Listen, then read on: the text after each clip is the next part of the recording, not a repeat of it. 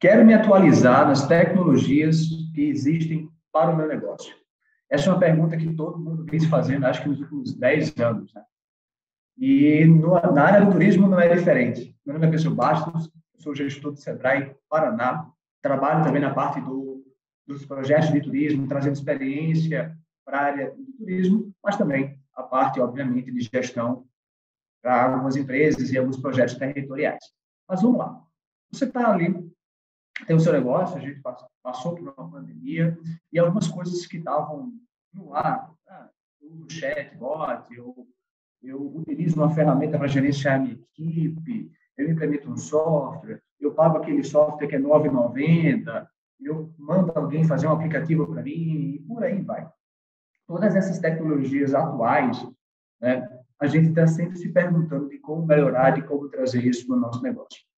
Esse é um desafio, uma dor, vamos dizer assim, uma vivência diária de toda e qualquer empresa, seja ela pequena, média, grande, micro, enfim. Esse é um grande desafio. Por quê?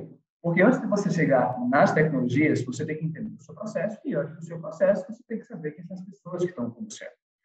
E a necessidade, antes disso, do seu cliente. Então, você tem uma agência de viagem, você tem um restaurante, você tem uma empresa que precisa atender melhor o cliente, que precisa se conectar melhor com ele e que precisa se adaptar às mudanças que esse cliente viveu nos últimos dias e vive e sempre quando ele vai estar avançando. Mas isso às vezes parece que é caro, isso às vezes parece que é trabalhoso, você vai ter que treinar alguém, você vai ter que comprar isso, comprar aquilo. E a ideia do vídeo de hoje, desse podcast aqui de hoje, é que a gente possa entender que não é assim tão caro, tão complexo, mas que também não é instantâneo nem com fórmula mágica. Tá? Então, quando a gente está falando de turismo, a gente está falando de serviço. E serviço é, vamos dizer assim, percepção. Você, antes de você comprar um serviço, você compra uma qualidade percebida. Como assim? Antes de eu comprar uma viagem, antes de eu ir para um hotel, antes de ir para um restaurante, naturalmente, todos nós avaliamos como é que é o atendimento, qual é a, a comunicação visual, se ela passa credibilidade, se ela está coerente com aquilo que a empresa se propõe, com aquilo que eu estou precisando. Então, a primeira coisa que a gente precisa ver é entender isso. Ó, não é a melhor comida somente. Não é isso. É um conjunto de coisas que o seu cliente vai ter que perceber antes de chegar até você. E onde ele percebe isso hoje? Antes ele percebia, muito antes do digital, passando na frente do seu restaurante, alguém falando para ele. Essas duas coisas ainda acontecem.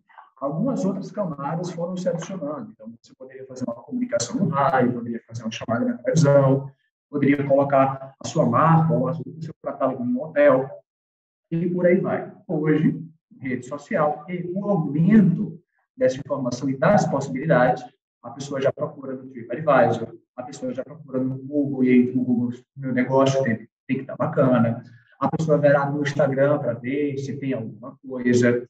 E por mais que o seu estabelecimento seja show, por mais que o seu atendimento seja massa, a rede social, os canais digitais, o ambiente digital e a sua presença digital, ela tem que estar coerente com o mundo físico. Porque é assim que a pessoa vai avaliar, que é a qualidade percebida. Se eu não perceber isso antes de ir lá, minha decisão é o seguinte, ó, ou eu vou para o que demonstrou mais segurança ou eu vou para os que eu vou sempre.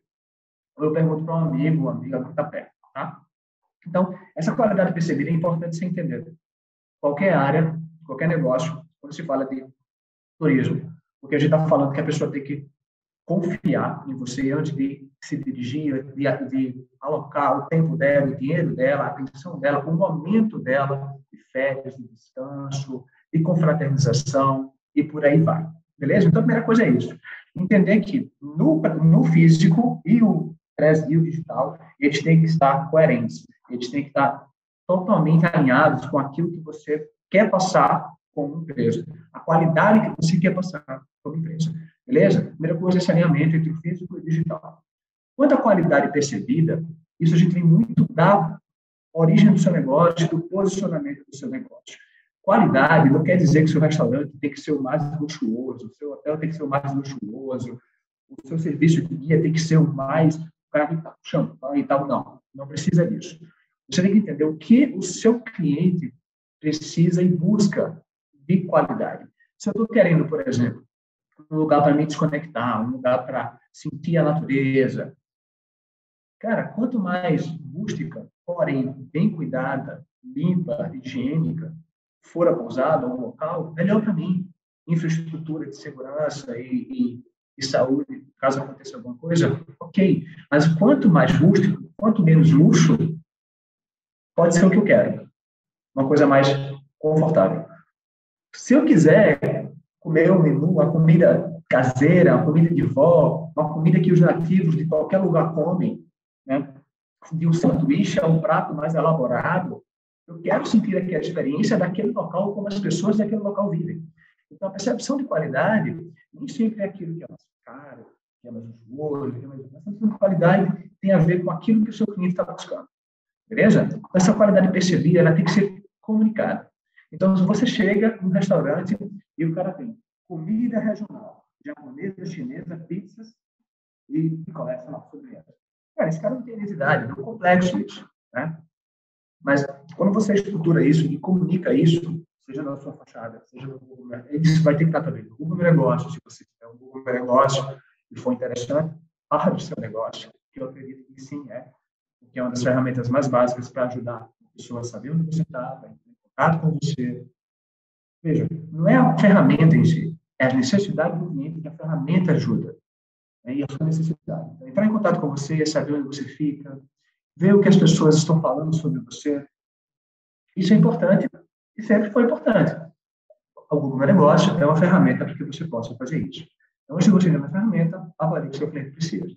Então, pô, eu preciso comunicar o que eu sou, para que a pessoa perceba a qualidade que eu estou entregando e ela saiba o que ela vai encontrar aqui e ela não se frustre. A experiência ela tem que ser organizada, né? ela tem que ser alinhada ali com o que eu estou esperando. Estou esperando um lugar, comida regional, ou eu vou em um lugar, por exemplo, eu sou pernambucano, estou no Paraná, eu sou pernambucano, você quiser chegar lá em Pernambuco, quiser comer uma carne de bode, ou qualquer outra comida típica, uma tapioca, esse tipo de coisa, você vai ter lugares que estão, assim, específicos para isso, com decoração, com ambientação, com música, com tudo. Mas você vai ter o cara que mistura lá, sei lá, vai ter o bode, mas também vai ter o sushi, mas também vai ter o yakisoba, mas também vai ter a pizza. Quais desses dois se tornam turísticos? Quais desses dois realmente entregam e passam uma qualidade coerente ali, né? Então, o que você está mostrando na sua fachada, na sua decoração, no seu ambiente, isso serve para hotel, serve para pousada, também tem que estar coerente nos canais digitais. Falei do Google Negócio, você tem outras possibilidades que você pode utilizar, no Instagram, TikTok. Inclusive, recentemente foi falado que o TikTok está sendo uma das coisas que mais está ajudando as pessoas a decidir para qual restaurante elas. Mas não entre nessa onda necessariamente. Avalie, meu cliente, ele está no TikTok? O meu cliente, ele usa o Instagram?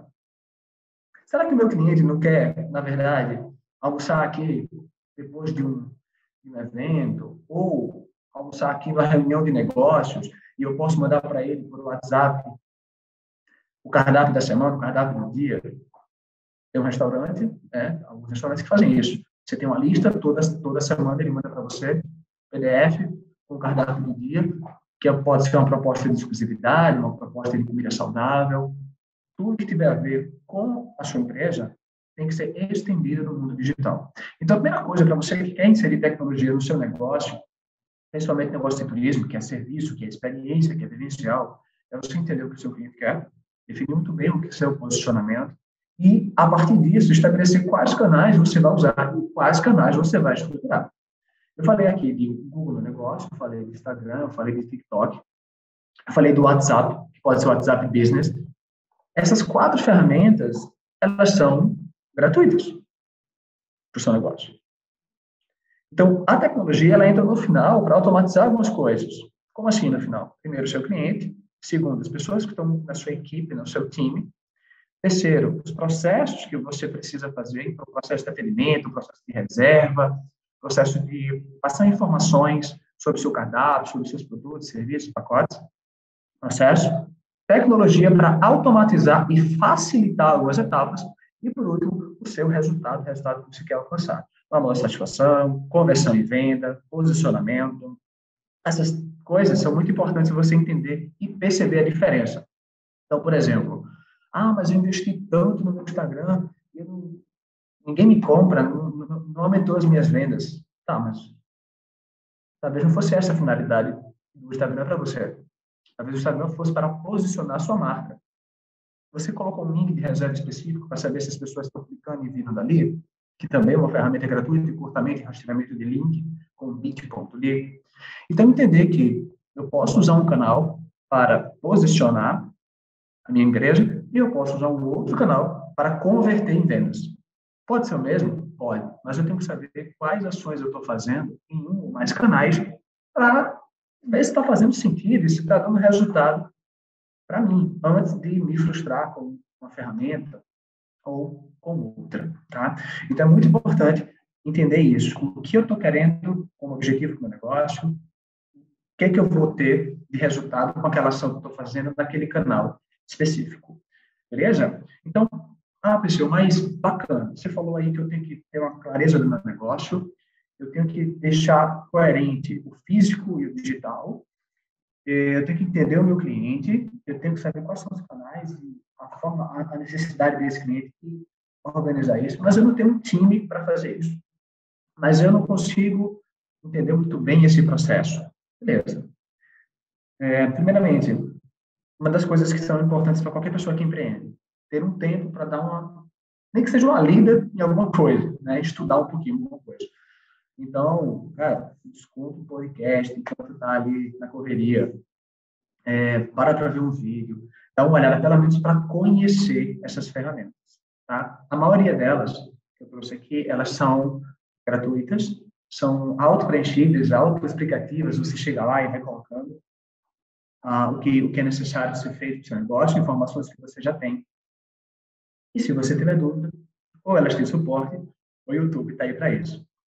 Então, estou falando no 0800, estou falando ali, ó, para você que toca o seu negócio muitas vezes na operação sozinho. Mas se você tem uma equipe, dá um tempo para alguém da equipe, por isso é importante você saber quem é que está na sua equipe, para dar uma estudada naquilo, para olhar aquilo ali. Deixa claro o que é que está precisando e vai fazendo. Né? Vai experimentando, vai fazendo. Esse, esse é, é o caminho ali do, do zero custo, entre aspas. Né? O custo é, chama um profissional, paga um curso, às vezes um curso barato para sua equipe, barato no sentido mesmo de acessível, né? De 100 reais, 200 reais, que você paga para alguém da sua equipe fazer, ou para você mesmo fazer, e entender um pouco mais essas ferramentas, cursos curtos, rápidos e diretos, ajudam bastante, tá bom? Temos cursos do Sebrae, temos cursos das próprias plataformas, então se você entrar no site do Instagram, você tem uma série de informações, se você entrar no Google, tem lá o Google explicando como usar cada uma das ferramentas dele, YouTube tem um monte de gente falando sobre. Então, tem como você achar. Isso versus o seu tempo. Se você, não, pessoal, eu quero realmente investir nisso. Então, procure alguém que pode e tem histórico com isso, é, de fazer um trabalho bacana. Mas antes de você contactar essa pessoa, tenha clareza para onde você está indo. Porque ninguém entende melhor o seu negócio do que você mesmo. Não tem profissional no mundo, não tem especialista no mundo que vai saber o seu negócio, o seu cliente, para onde você onde você tem que ir. A decisão é sempre sua. Então, você entende, sabe para onde está indo, você traz esse profissional para ele executar aquilo que você não consegue executar, mas em direção para aquilo que você decidiu como estratégia para a sua empresa. Não é que você vai fechar os ouvidos para o profissional, mas que você tem que entender que você está contratando ele para fazer algo que é uma extensão do seu negócio, que é uma extensão de você. E não aquilo que está todo mundo fazendo, não é aquilo que o seu concorrente está fazendo e tudo mais. Ou tem que ficar falando feito todo mundo fala, ou agindo como todo mundo fala, apostando como todo mundo gosta. Mas sim, aquilo que de fato vai garantir a qualidade percebida do seu negócio, que vai estar coerente com a experiência que o seu cliente traz e coerente com o comportamento de consumo dele. Beleza? Mais pontos, mais informações, mais coisas bacanas sobre essa, você encontra na comunidade Sebrae, na área de turismo, Procura também a área de marketing, comunidade de marketing digital, tem muita coisa bacana. Se informe, conte com o Sebrae, busque conhecimento, troque com seus parceiros, troque com seus, seus amigos, busque mais e mais informação, porque ou a gente se informa, ou a gente se atualiza. Não estou falando para ninguém ficar fazendo milhares de cursos, mas ou a gente se entende as estratégias que o físico e digital exigem da gente, ou vai ficar sempre mais difícil manter o negócio, sempre mais difícil entender o seu cliente, sempre mais complexo prosperar. Beleza? Até a próxima. Encontro vocês aí em outro podcast. Convido mais uma vez a olhar a comunidade de marketing digital e aproveitar ao máximo a comunidade de turismo. Até a próxima.